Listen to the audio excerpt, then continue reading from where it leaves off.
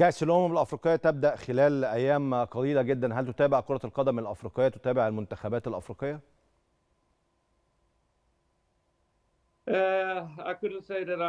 لا أستطيع أن أقول أني متابع جيد لكرة القدم الأفريقية ولكن أنا أتابع الأخبار في من من هنا أو هناك.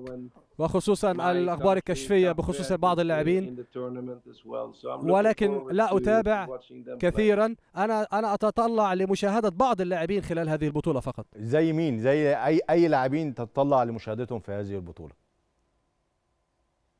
Sorry? I can't, I can't hear you very well. What what is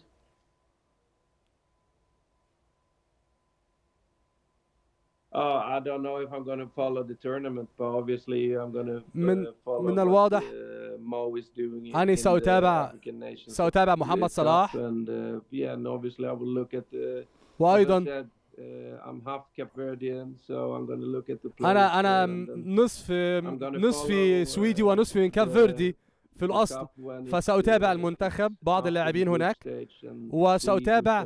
من اللاعبون الذين تميزوا خلال مرحلة المجموعات لأتابعهم بعد ذلك كاب كاب فيردي في مجموعة تضم أيضا منتخب مصر المواجهة بينهما آه، في know. هتكون عاملة إزاي؟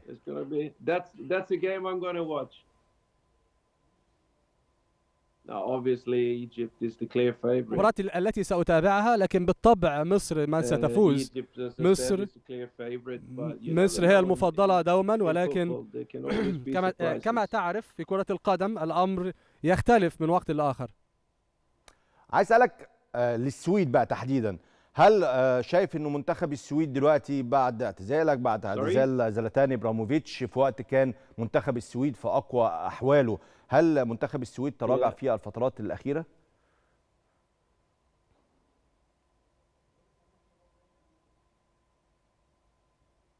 If Sweden is gonna reach a good level again, is that the question? Yes, yes, that is the question.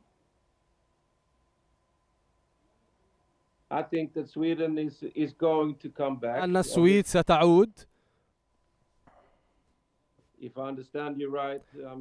إذا إذا إذا فهمتك جيدا أعتقد أن السويد قادرة على العودة وقادرة على استعادة مستواها في ظل اللاعبين الحاليين.